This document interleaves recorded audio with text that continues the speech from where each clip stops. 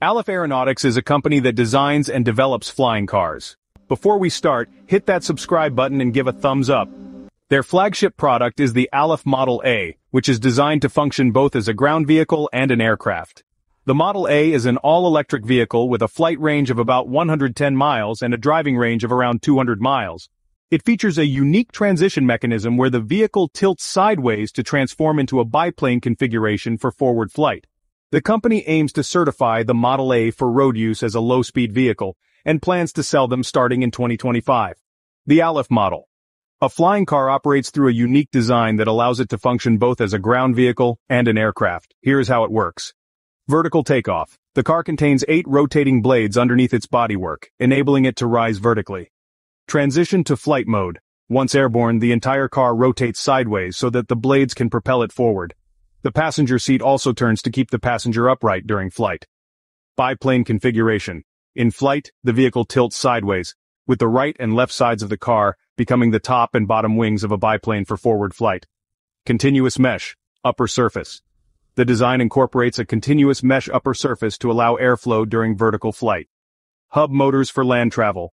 For land travel, the Model A uses hub motors, while in flight, it utilizes eight motor controller propeller systems for distributed electric propulsion.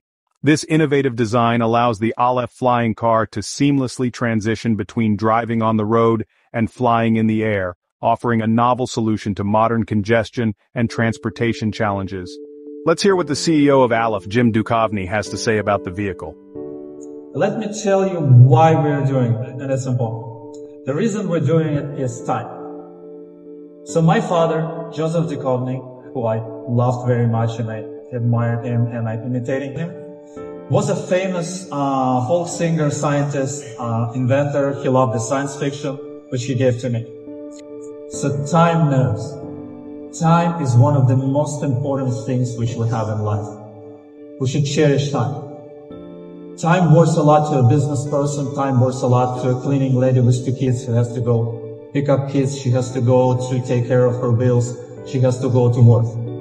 Time worth a lot us. Our time on earth is very much important.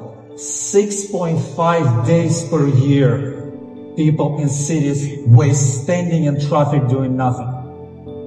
A week per year of your life you spend in traffic. We want to give back this week to you guys. We're going to give the time back to you.